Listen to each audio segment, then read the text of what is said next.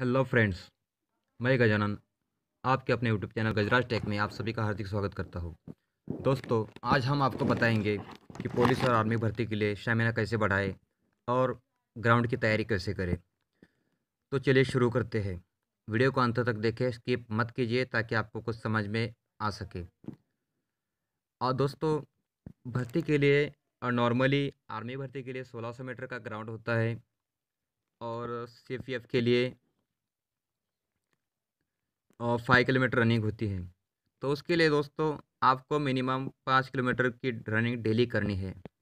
Running को करने का तरीका ये है कि शुरू शुरू में आप जैसे फाइव किलोमीटर रनिंग करेंगे, शुरू में एक आधा किलोमीटर जो है नॉर्मली आप बॉडी को वार्म अप करने के लिए शुरू शुरू में थोड़ा स्लो कीजिए रनिंग जैसे आपका बॉडी टेम्परेचर बढ़ेगा, जैसे आपका बॉडी स्प्रिंग स्प्रिंकिंग करने लगेगा, जैसे गर्म होने लगेगा, आप धीरे धीरे आपका रनिंग का स्टेप बढ़ा सकते हैं।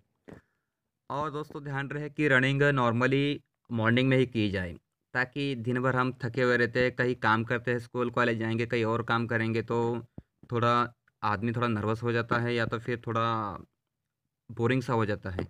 तो हम अगर मॉर्निंग में रनिंग करेंगे तो मॉर्निंग का टाइम रनिंग के लिए बेस्ट है दोस्तों, क्योंकि रात भर हमारी नींद पूरी हो जाती है और नींद से उठने के बाद एकदम शरीर जो है, एकदम फ्रेश रहता है। तो हम बहुत ही बढ़िया तरीके से रनिंग कर सकते हैं।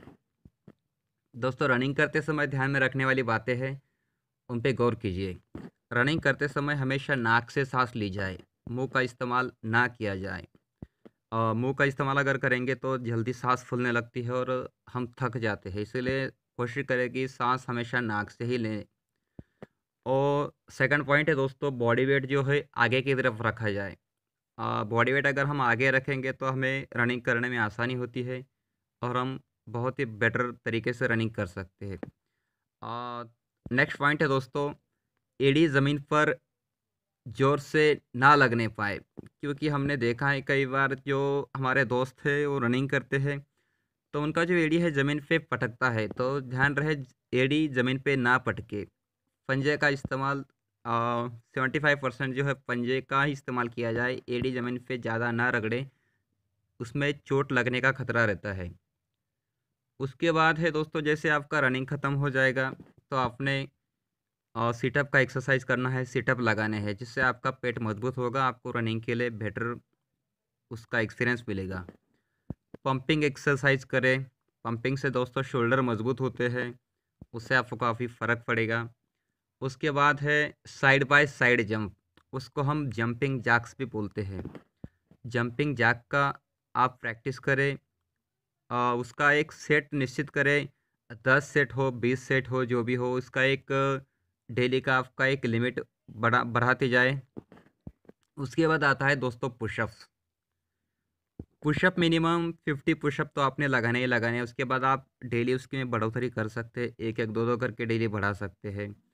उससे भी आपको काफ़ी आपका चेस्ट वगैरह बढ़ेगा, शोल्डर आपके मज़बूत होंगे, स्टेमिना आपका बढ़ेगा। बैक पुशअप दोस्तों।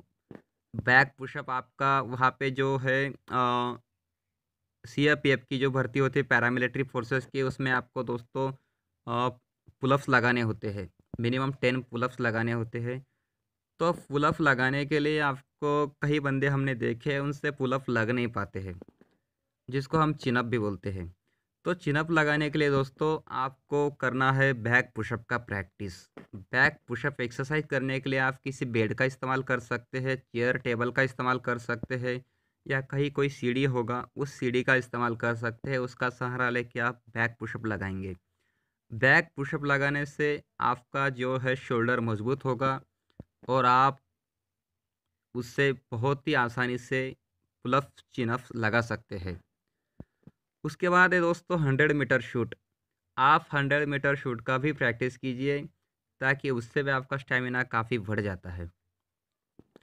और खाने पीने की बात में दोस्तों करेंगे हम कि रोज़ सवेरे चना वगैरह, काजू बादाम थोड़ा सा चना, एक कप वगैरह, एक छोटा कटोरी चना भिगो के रखिए रात में।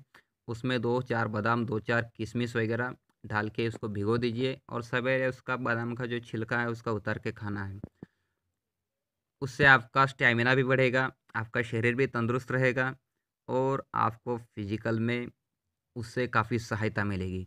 दोस्तों, भर्तियाँ तो निकलती रहती है। आर्मी हो सी एफ़ एफ़ हो, जो भी भर्तियाँ होती है वो तो निकलती रहती है, वैकेंसी निकलती रहती है। लेकिन अगर हमारा प्रैक्टिस ही नहीं होगा, हम फिजिकली फिट नहीं होगे, हमने उसके लिए अगर कोई मेहनत ही नहीं किया है तो भर्ती चाहे रोज़ ही निकले, हमें क्या उससे कोई फ़ायदा नहीं होगा दोस्तों। क्योंकि हमारा फिट अगर हम नहीं है, हम फिट नहीं है, हमारा प्रैक्टिस नहीं हुआ है तो हम वहाँ पे जाके करेंगे क्या? इसलिए दोस्तों, पहले अपने आप को फिट कीजिए।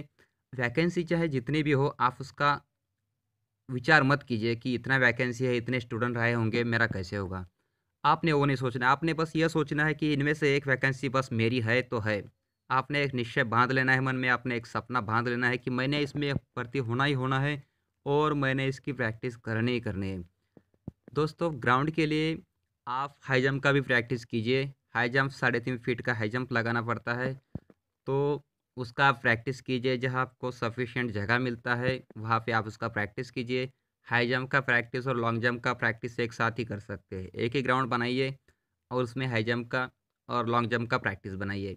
हाई जंप के लिए अगर आपको कुछ नहीं मिलता है तो आप दो बम्बू की लकड़ियाँ भी खड़ी कर सकते हैं। उसको नीचे गाड़ दीजिए उसके ऊपर से कोई एक रस्सी थोड़ा सा रस्सी बाँध के भी उसका प्रैक्टिस कर सकते हैं मॉडिफाई करके।